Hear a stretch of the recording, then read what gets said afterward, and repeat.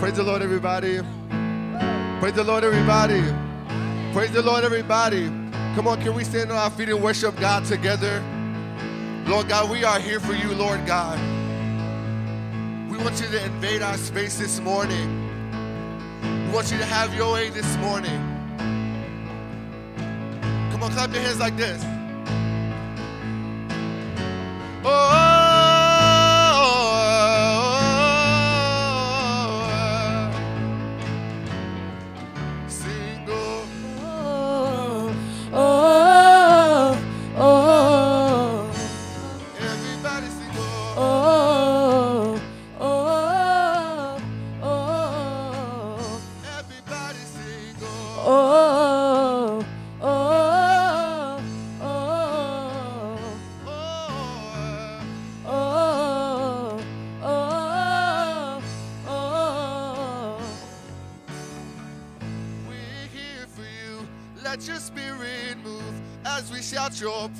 from my heart to your ears. All the glory is yours, now forevermore. Here's our worship, all we can give is for you. We're here for you. So we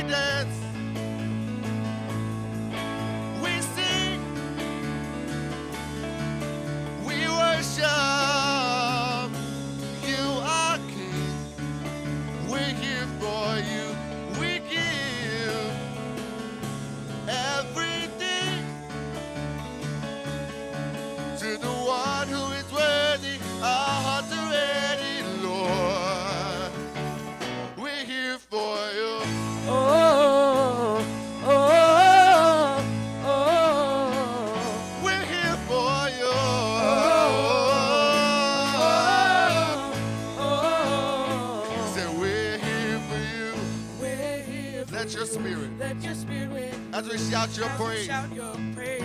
All the glory is yours. All the glory is now forevermore. Here's our worship. All We're for you.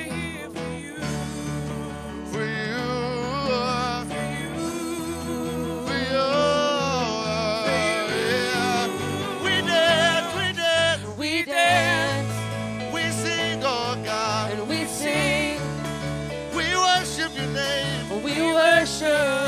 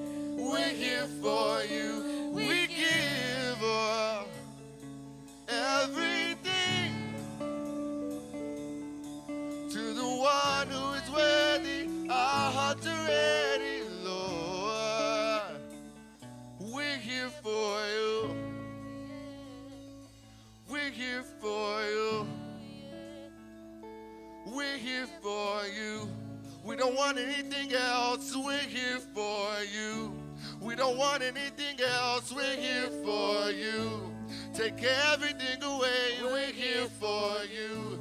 Regulate our minds. We're here for you. We're here for you. We're here for you. Hallelujah, Jesus. Lord God, I pray that you have your way in this place, in this moment, God. I pray that you reign. Lord God, I pray that you do what only you can do, Lord God. I pray that um, you regulate our minds, oh God. Lord God, that you stir something up in our spirits today, Lord God. I pray that you stir up joy, God.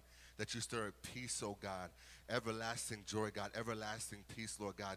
Peace that is unexplainable, God. I pray that you have your way. And Lord God, that every bit of anxiety, every bit of depression as we worship you, Lord God, will begin to fade away even now, God. Have your way in this moment. Have your way in this space.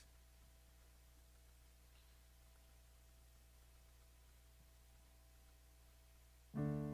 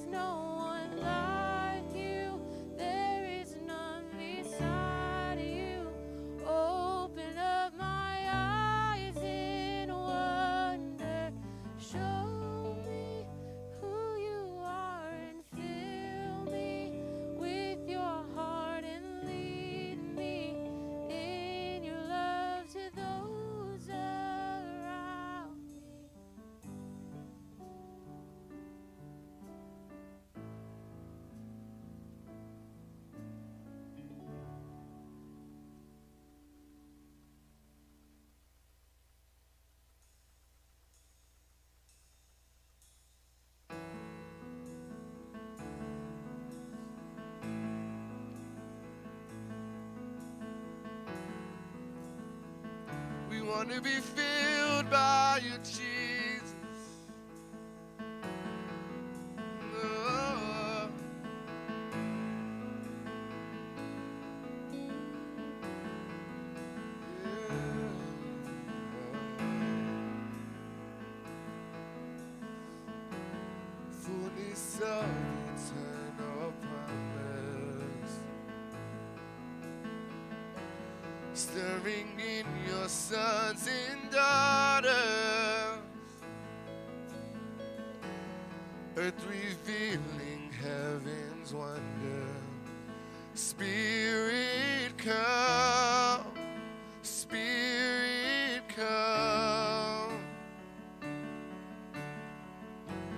What you spoke is now unfolding. All your children shall be holding.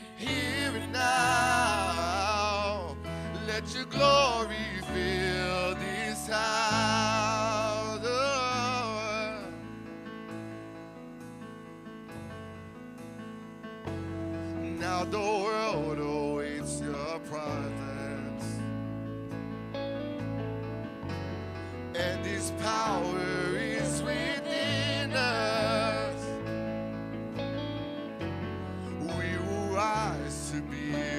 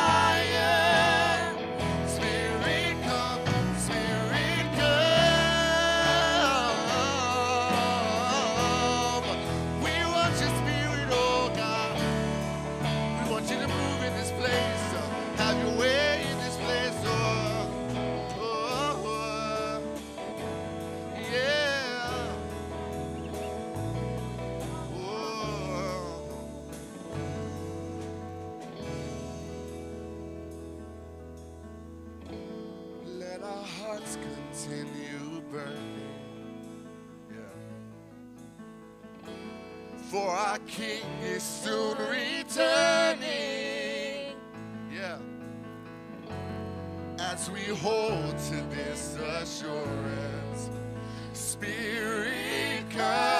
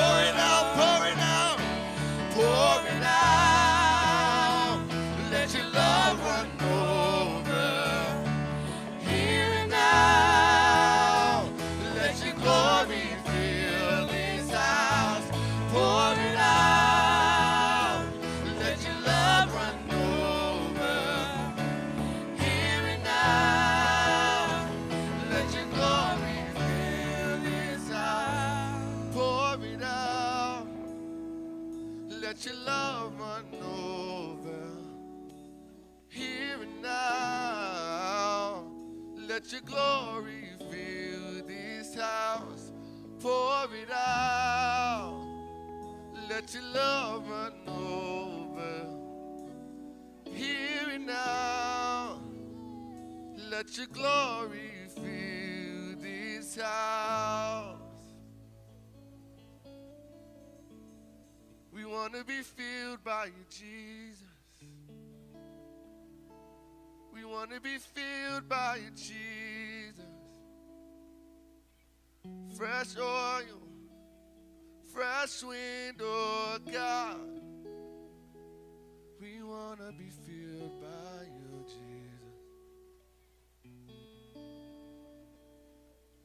Lord God, I pray that you fill us today.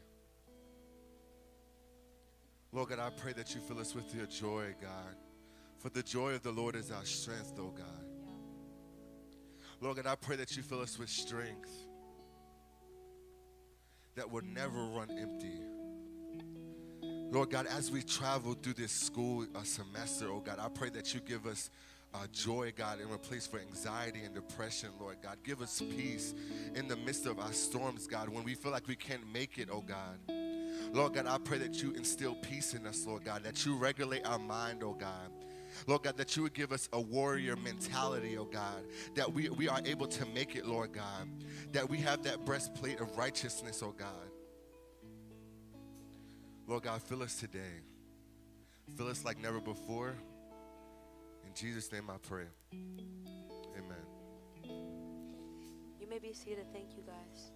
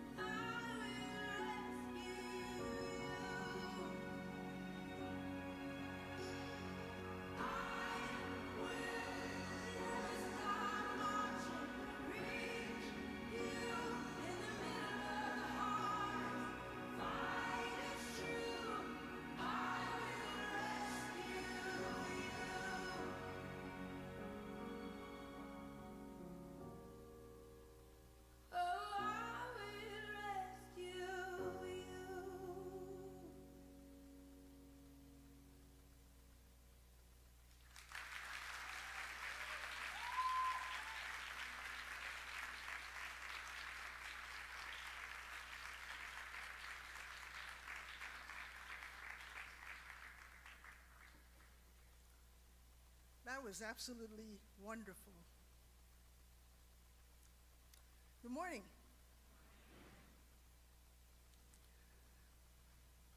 Well, my name is Diane Chen, and I teach New Testament at Palmer Seminary, where every Tuesday and Thursday at 6 p.m., we have something called Chapel and Chew. Worship, food, and conversation are the heart of the community life at the seminary. So anyone passing by the second floor of McInnis during that time is welcome to join us.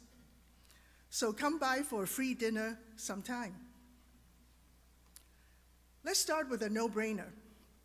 Food is a necessity. We must eat to stay alive.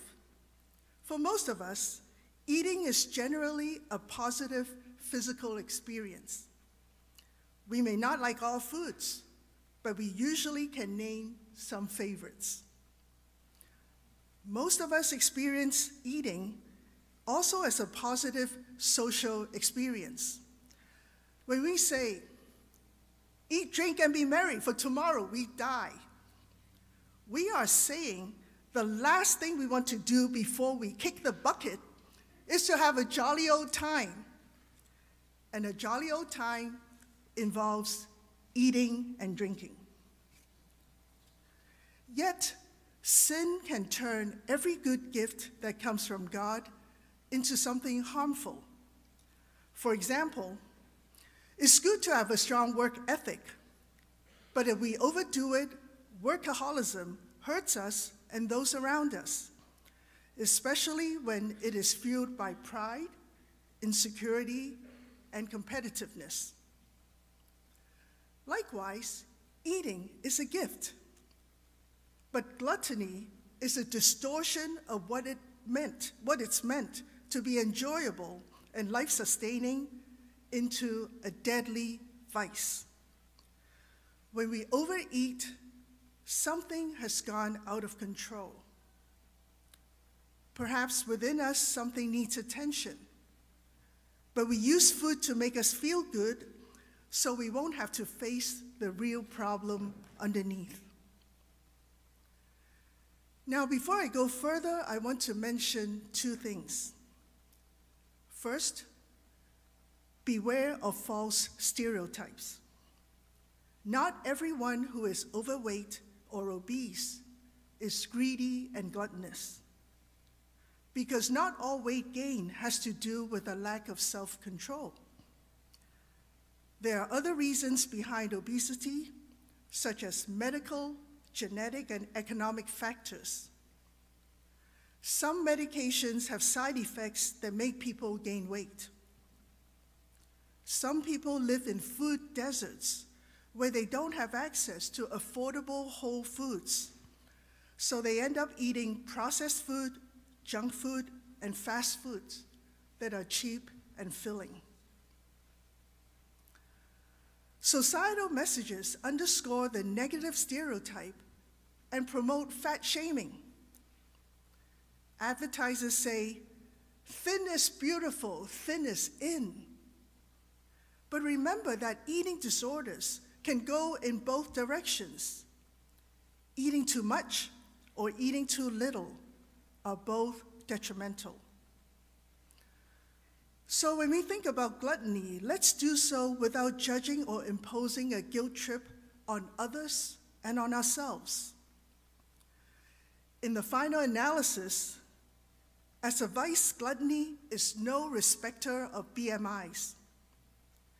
As long as we eat, the temptation of gluttony lurks in the background.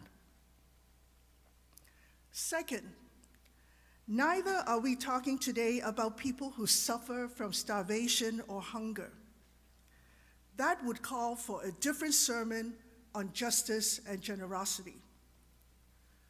Rather, Gluttony is an excessive obsession with food for self gratification when food is abundant, when there is plenty to eat, and we let loose completely with what we eat, how much we eat, and why we eat. The title of this series is glittering vices, which implies that something bad, a vice, is dressed up as something attractive, glittering, and alluring. A vice is a learned behavior so that we acquire a bad habit. The more we do it, the more it becomes second nature. So the more we eat excessively, the bigger we stretch our stomachs, the more we don't think twice about stuffing our faces. But bad habits can be broken. We do not have to succumb to the downward spiral. People quit smoking, drinking, and gambling. It's hard to do, but it's not impossible. Acknowledging what gluttony can do or is doing to us is the first step to disarm its power over us. Speaking of power, on a deeper level, a vice is more serious than a bad habit. It is a sinful power that controls and imprisons us. This tool is a vice. You put a piece of wood between the jaws and crank the handle. When the jaws come together, they keep the log from moving. By the same token, gluttony is a vice that has the power to control us. And it does so bit by bit, one eating opportunity at a time. By the time gluttony has us in its grip, we are dealing with an addiction of sorts. So, in spite of its necessity, food has become so much of a priority that it colors our attitudes, preoccupations, decisions, and actions in life diminishing ways. When gluttony is exposed as a deadly sin, then the issue is not just about our physical well being. Our body, soul, mind, and spirit are not four compartmentalized boxes. God created us as whole persons, so we need to consider the effect that our food consumption has on our emotional, social, and spiritual well being as well. In the book of Romans, the Apostle Paul speaks of slave as a, a sorry, speak of sin as a slave master.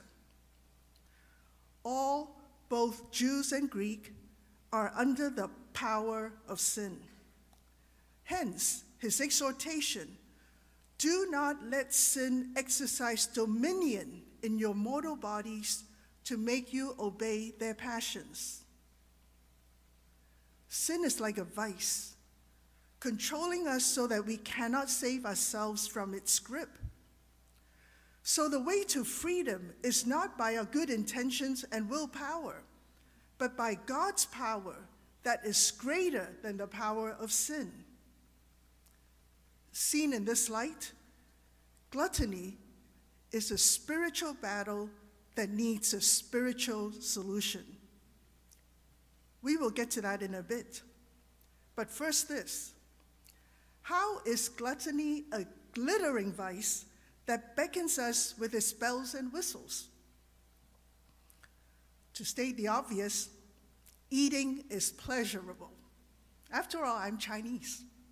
We love to eat. God made food tasty so that we will eat and stay alive. But physical needs aside, food also fulfills a social and emotional need. We celebrate happy occasions, birthdays, graduations, weddings, and holidays with lots of good food. We remember the taste, the smell, the laughter long after everything is digested. Sometimes when we eat with others, the company and the conversation can be more memorable than the food itself. And for some of us, when we feel sad, alone, or depressed, we too look for food for comfort. So the line between eating adequately and eating excessively is not difficult to cross. Probably, we have all crossed the line here and there in eating too much over the holidays. But if we cross the line too often without giving it any thought, we are forming a bad habit and positioning ourselves within the jaws of that vice of gluttony. That by the time we realize we have a problem, the problem has already locked us in. Because gluttony looks harmless in the beginning, since we're just eating, we can justify ourselves pretty easily. It's an all you can eat buffet. I need to get my money's worth. I'm so full, but let me finish that. I don't want to waste food. I feel good when I eat. I am practicing self care. Well, not being hungry, it is a good thing. That's why we eat. But why do we eat much more than our body requires? Does our undisciplined behavior signal something else that needs attention? Meet Joey Chestnut. He is 36 years old and he holds 53 different food eating records. Among his achievements, he has eaten 121 Twinkies in six minutes, 141 hard boiled eggs in eight minutes, 74 hot dogs with buns in 10 minutes, and 182 chicken wings in half an hour. Competitive eaters eat not because they are hungry, but to prove they're number one. But does calling this a sport make it any less gluttonous? I doubt if eating 141 eggs in one sitting is good for anyone's body, not to mention the practice rounds before the competition. Yet the website Major League Eating, MLE, calls Joey Chestnut an American hero and a national treasure because his appetite is legendary. The glorification of gluttony.